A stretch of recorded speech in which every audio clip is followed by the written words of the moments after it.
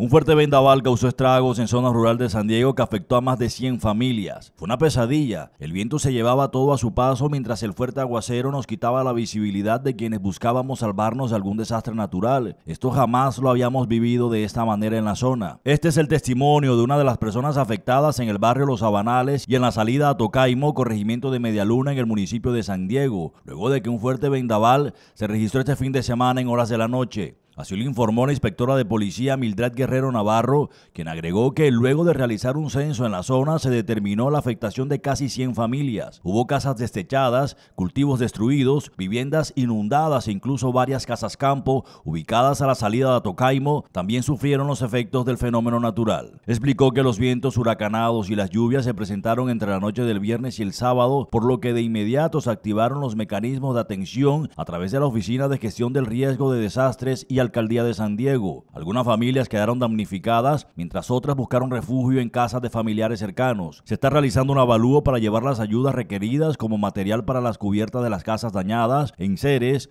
agua, alimentos no perecederos, entre otros.